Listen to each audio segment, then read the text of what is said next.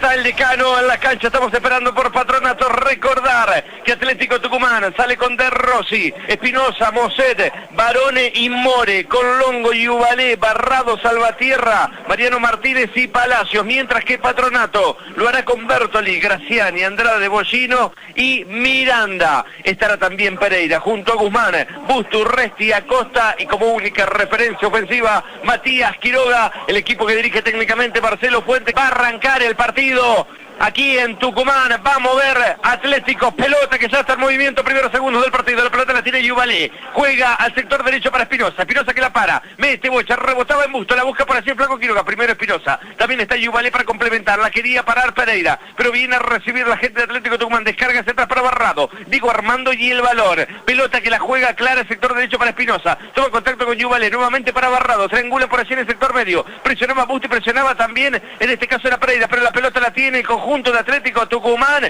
la tiene a la bocha, atención, camiseta número 9, buscaba por allí, era, estábamos hablando de Martínez, la pelota la tiene Bustos, sale sector izquierdo ahora con un resti, intenta salir Patronato en el arranque, jugando hacia atrás para Miranda, Franco y el balón, levanta la cabeza, cambia bocha, bien limpiando juego para el Chelo Guzmán, despecho se la deja ahora para Acosta, la tiene, allí estaba Leo, jugando la cortita para el uruguayo Pereira, el uruguayo levanta el mate, juega nuevamente para Leo, Acosta y el balón, Acosta que buscará jugar por lo bajo para Guzmán, pero es presionado y en este caso anticipado por Barone. Bustos sigue el balón, Bustos que la cambia al sector derecho y está recibiendo el Gaby Graceni, ya está pisando territorio tucumano. El Gaby ensancha la cancha a la derecha para Leo Acosta y Leo que encara y Leo que le quiere meter velocidad al sector derecho para Guzmán. Se prepara para meter el centro para el flaco Quiroga, entra el chino, Quiroga gol. ¡Gol!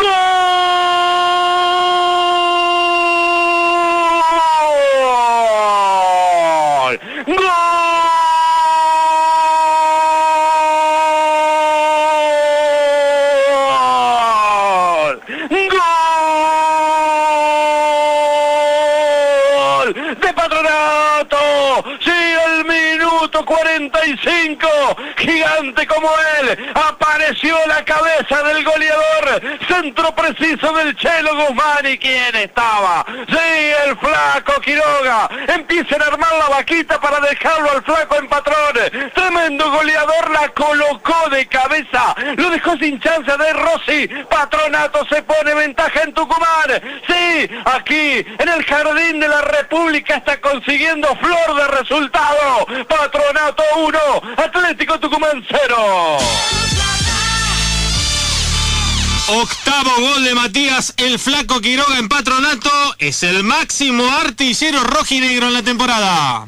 Bueno, cuando los equipos recién se estaban acomodando en la cancha, el primer avance de Patronato con cierto atisbo de seriedad, un centro del sector derecho, cabeció solito y solo, el flaco Quiroga se la puso contra un palo de Rossi que se quedó parado como una estatua, Patronato gana 1 a 0 en los albores mismos del partido. La flaco que la mata con el pecho, pegale flaco y el gol le pegó, golazo, gol,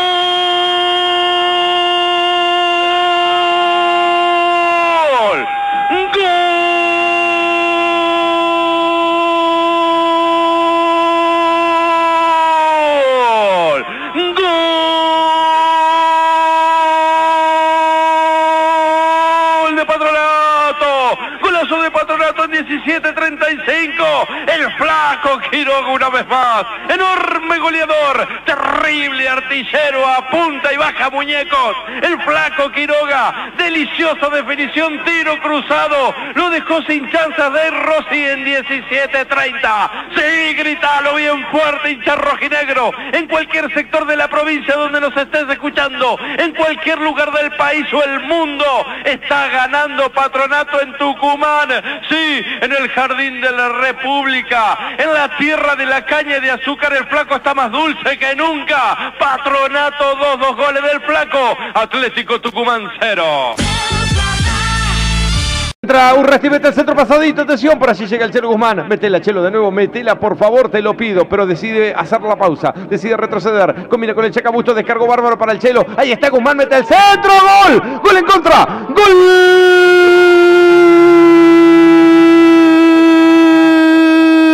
Patronato, gol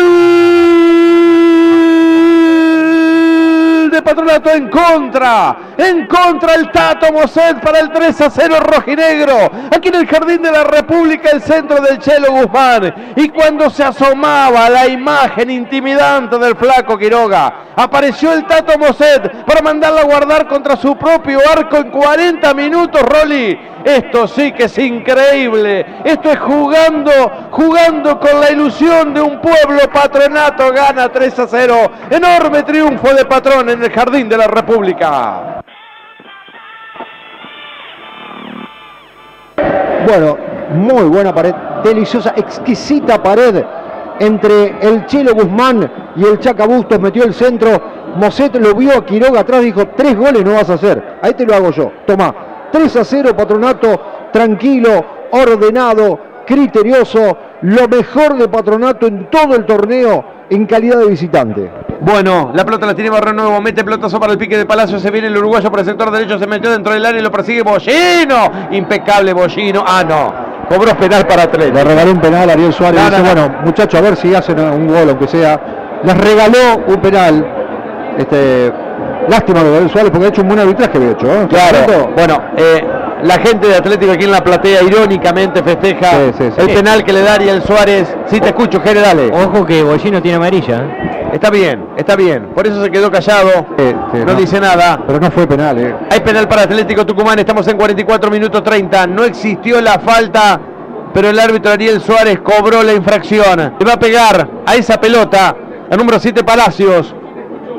Le va a entrar ese balón.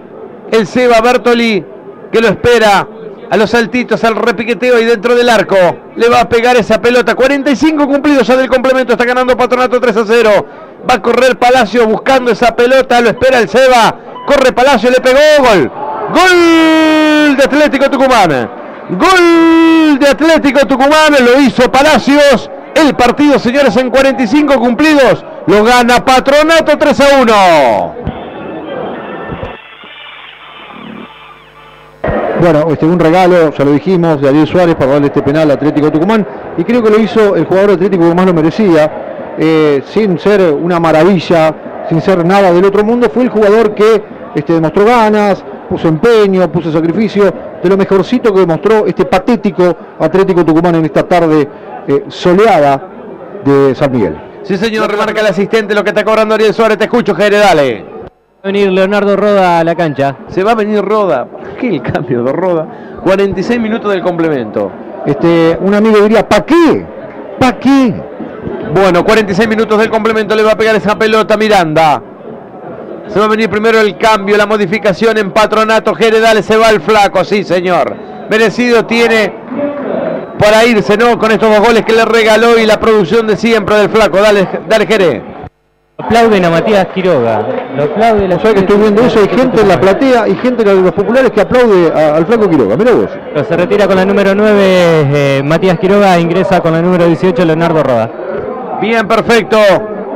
La modificación entonces en patronato le va a pegar esa pelota detenida Franco Miranda. 46 minutos 50. Mira su reloj Ariel Suárez.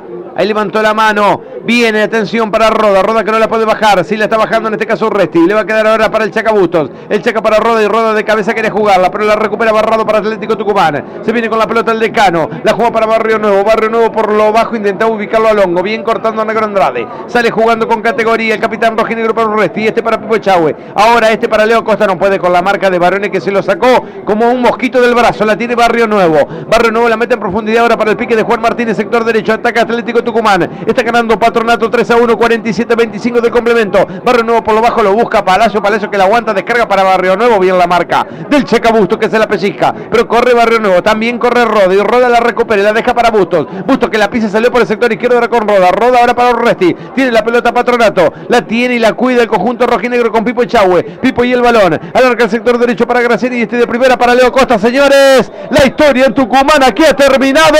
Señores, en una jornada maravillosa para el pueblo rojinegro.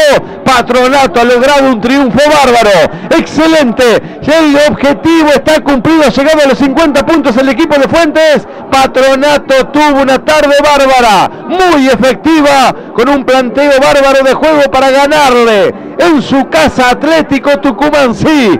Partido que viviste por la fiesta del fútbol en el aire de Del Plata, la 98.3 por de la Plaza 94.7, llegando al centro y norte de la provincia. A través de Radio Ser de Asecam y de Radio Ruta 12, ha ganado Patronato Tucumán. Temporada 2011-2012 para Patronato. Aprobado. Alcanzó los 50 puntos, producto de 35 partidos jugados hasta el momento, de los cuales ganó 13, empató 11 y también perdió 11. Tiene 39 goles a favor y 35 en contra. Y dentro de 15 días recibe, sin horario ni escenario confirmar, a Rosario Central.